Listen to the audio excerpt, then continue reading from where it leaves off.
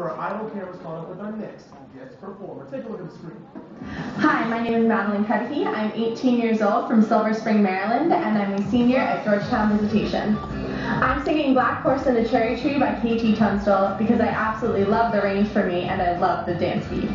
We're here on a family vacation, and since I'm involved in theater at my high school and hopefully a theater major in college, I just had to audition for the American Idol experience. Oh my god. My favorite American Idol is Kelly Clarkson because not only does she have an amazing voice, but she's been an extremely positive role model in my life. I'm dedicating this performance today to my family because they've always supported me, especially in my choice of career. Vote for me, number two, and make my Disney dreams come true.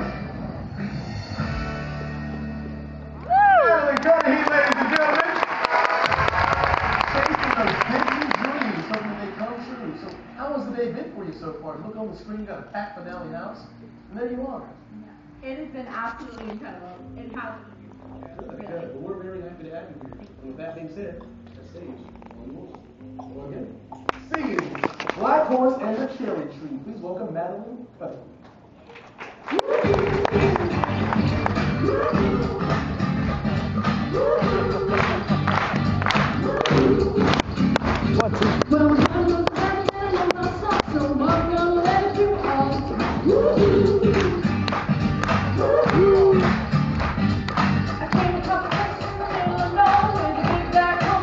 Everybody.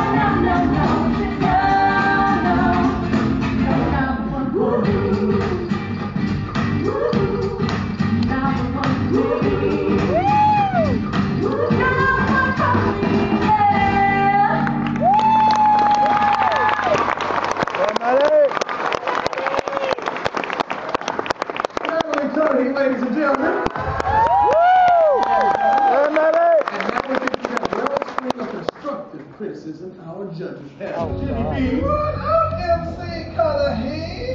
Looking like Fergie Duchess of York up in this here. I I gotta tell y'all something too, alright? If hips moved like that when I was a senior in high school, I'd go back and take calculus all over. That's what I'm talking about. Uh, as far as the music goes, baby, I wish there was a little more meat on the plate. I felt like I went for a steak dinner and got a vegetarian meal. That being said, so I think we gotta get. I'm not a hater, I'm a motivator, okay? So y'all can drink the haterade if you want to, but having tonight. So I wish there was a little more meat on the plate vocally, but I really like your performance. Good job.